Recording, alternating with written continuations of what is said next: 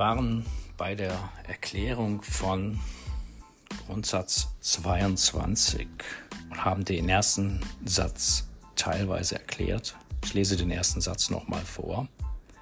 Also ein Kurs in Wundern. Kapitel 1. Die Bedeutung von Wundern. Römisch 1. Grundsätze der Wunder. Absatz 22, also Grundsatz 22, Satz 1. Wunder werden nur wegen des Glaubens, dass die Dunkelheit verbergen kann, mit Angst assoziiert. Wir haben also soeben im vorherigen, in der vorherigen Podcast-Folge erklärt, was Dunkelheit im Denksystem des Egos und was Dunkelheit im Denksystem des Heiligen Geistes überhaupt bedeutet. Sie werden also nur mit Angst assoziiert, wenn du glaubst, dass Dunkelheit verbergen kann.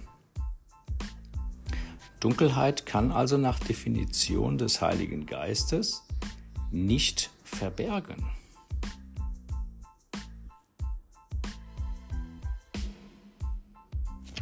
Was wollen wir denn verbergen oder was soll denn verborgen sein?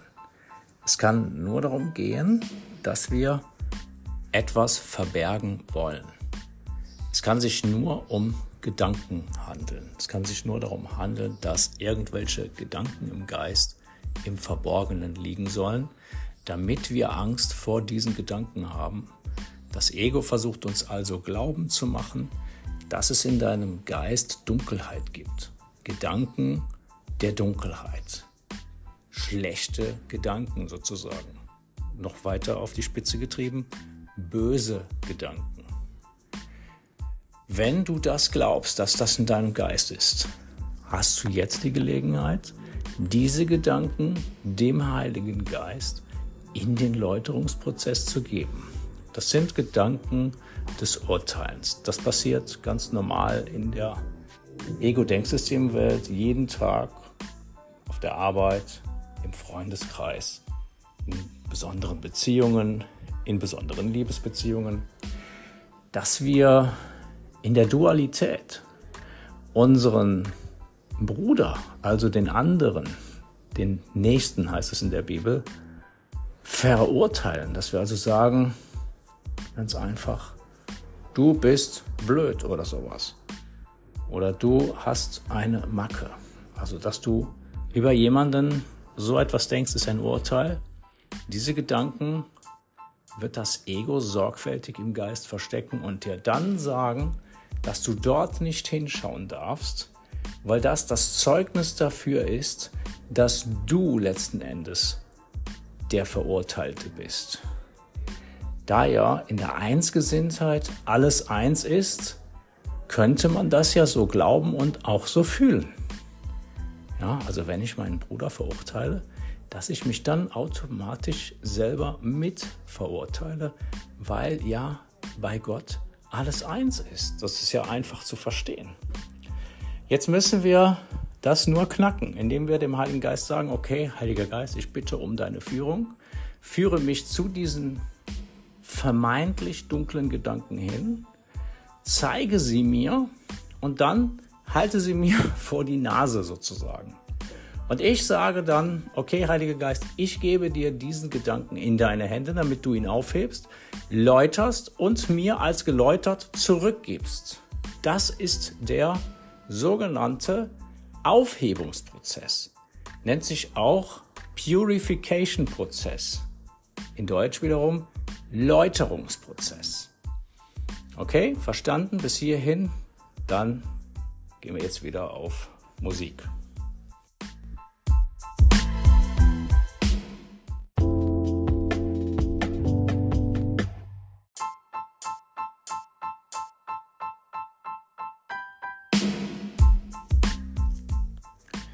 Gehen wir also jetzt direkt weiter mit dem Satz 2, Grundsatz der Wunder 22.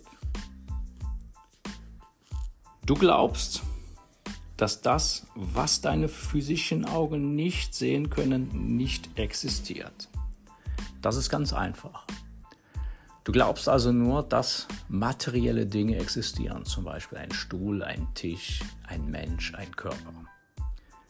Das Geistige glaubst du aber, dass es nicht existiert, weil deine physischen Augen es nicht sehen können. Du kannst es aber fühlen. Du kannst fühlen, dass der Christus in dir ist und durch dich wirkt. Das kannst du sehr wohl in einem Prozess im Fühlen erkennen und gleichzeitig auch wahrnehmen. Die Wahrnehmung verschmilzt, wie gesagt, mit der Erkenntnis. Die Wahrnehmung wird so nah an die Erkenntnis geführt, dass Erkenntnis leicht überfließen kann. Das ist Erkenntnis und Wahrnehmungsverschmilzung. Du glaubst, dass das, was deine physischen Augen nicht sehen können, nicht existiert.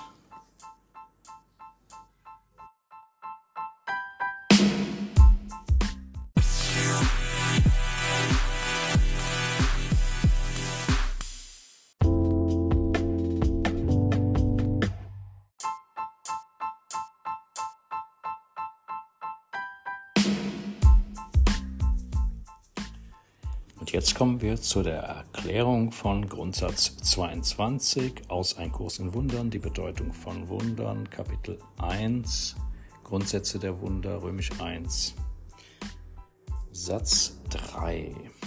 Das führt zu einer Verleugnung der geistigen Sicht. Jetzt sind wir beim Hauptthema, also bei der Main Message, bei der Schlüsselerklärung von Ein Kurs in Wundern schon angekommen, Verleugnung der geistigen Sicht. Du siehst also, dadurch, dass du denkst, dass das, was deine physischen Augen nicht sehen, nicht existiert, ist das eine Verleugnung der geistigen Sichtweise. Wenn du die geistige Sichtweise nicht verleugnest, bedeutet das, dass du dann dein wahres Selbst wiedererkennen kannst. Dein wahres Selbst ist, dass du der heilige Sohn Gottes selbst bist. Frei von Sünde, frei von Schuld. Sünde existiert nicht. Diese Erkenntnis wird dir dann zuteil werden, wenn du die geistige Sichtweise nicht weiter verleugnest. Du könntest zum Beispiel sagen, Heiliger Geist, also Übung oder Aufgabe für den Tag. Heiliger Geist, bitte lass mich meine geistige Sichtweise nicht weiter verleugnen. Du kannst dies auch in einer speziellen Situation, in der du Ärger und Angst empfindest oder Wut, Groll, Hass gegen deinen Bruder, gegen dich selbst anwenden. Du kannst also, Heiliger Geist, Lass mich diese Situation nicht verwenden, um meine geistige Sichtweise weiter zu verleugnen. Weil, wenn du deine geistige Sichtweise nicht weiter verleugnest, bist du in der Erkenntnis. In der Erkenntnis sein heißt, dass du dein Wissen, dein, dein Allwissen mit Gott gemeinsam teilst. Ich wünsche dir einen wunderbaren Tag in der Erkenntnis, in der Schau Christi.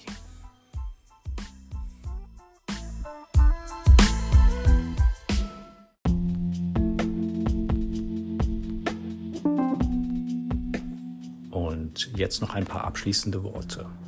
Ich danke dir dafür, dass du dir die Zeit genommen hast und dich in diesem kurzen Kurs hier heute hingegeben hast. Damit hast du ganz viel gezeigt, ganz viel bewiesen. Das bedeutet, dass du eine kleine Bereitwilligkeit hast, den Heiligen Geist die Führung übernehmen zu lassen. Das ist sehr wertvoll. Wenn du das möchtest, versuche das immer wieder am heutigen Tag zu tun. Deine kleine Bereitwilligkeit für den Heiligen Geist aufrechterhalten, dass er die Führung für dich übernimmt. Das kannst du leicht sagen, indem du sagst, Heiliger Geist, ich bitte um deine Führung. lass mich zurücktreten und dir die Führung überlassen.